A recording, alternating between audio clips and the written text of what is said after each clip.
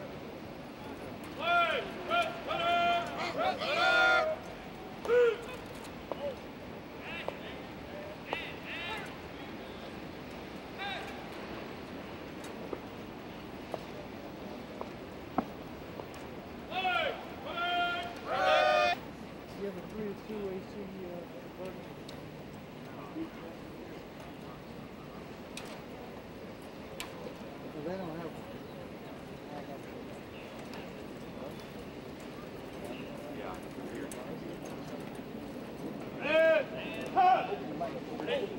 Woo.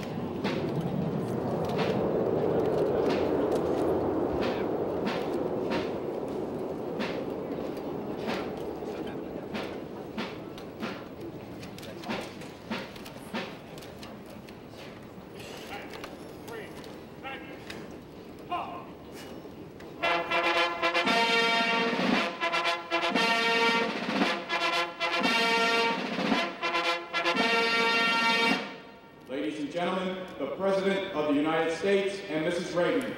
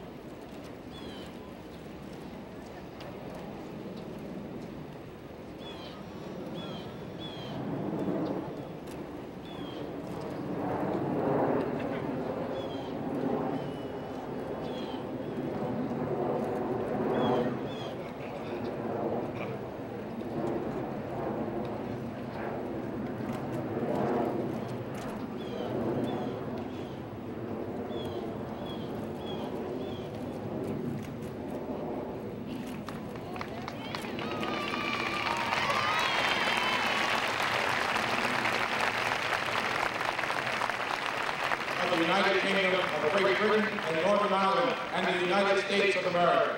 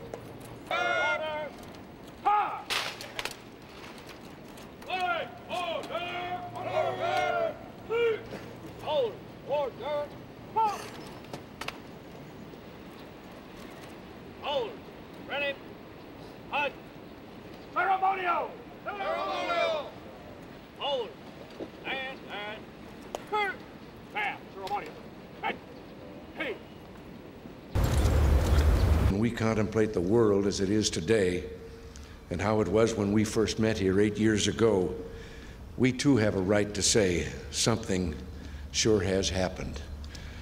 When we first met on these grounds in 1981, there was talk of unilateral cutbacks and American withdrawals and nuclear freezes and questions about the alliance. Our alliance, the great alliance built with such difficulty and daring whether the modern world had made them obsolete. Well, now it's changed. Now the excitement and vigor and energy in the world is with the cause of freedom. As the United States and Great Britain, shortly after my return from Moscow, to note in a speech at Guildhall your extraordinary role in the revitalization of freedom. Today, in welcoming you to these shores, I have, I and the American people again restate our gratitude. In the critical hour, Margaret Thatcher and the people of Great Britain stood fast in freedom's defense. And surely future historians will note that a supreme fact of this century was that Great Britain and the United States shared the same cause, the cause of human freedom. And together we've come when we realized all we had striven for in that great conflict, world peace and freedom, would the day may dawn when fair play, love for one's fellow men, respect for justice and freedom will enable tormented.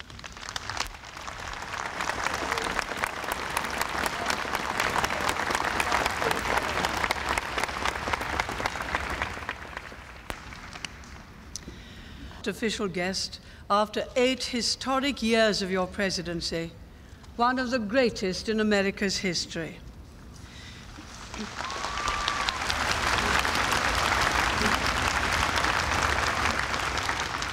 Behalf of this great nation and of free people everywhere, and an opportunity to look ahead to the bright promise of the future. Mr. President, when you welcomed me to the White House on my first official visit to Washington under your presidency, liberty, your conviction, Mr. President, that the only sure peace is one found, but it is the man who holds that office, you, sir who has enabled us to begin the world over again.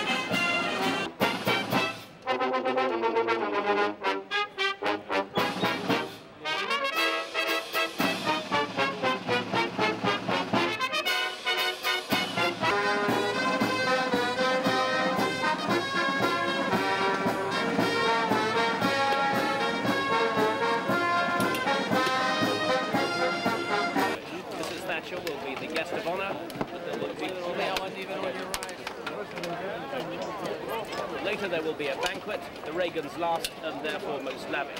Mrs. Thatcher will be the guest of honour, but there will be one notable absentee. We call it just, just a real